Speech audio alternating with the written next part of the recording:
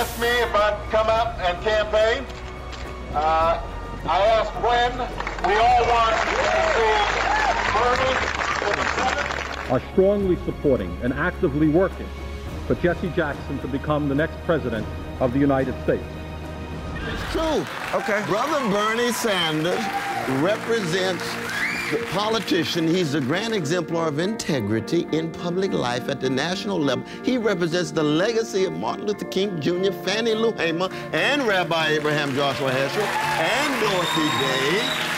And I would add John Coltrane, too. Bernie is speaking to a yearning that is deep and real, and he has credibility on it. And that is the absolute enormous concentration of wealth in a small group of people with the middle class now being able to be shown being left out. They're Hillary's stagnant. talking about that as Well, well. it's but it's it's it's relatively new for Hillary to talk about that. Hillary's focus has been on other things up to now, and that's been Bernie's.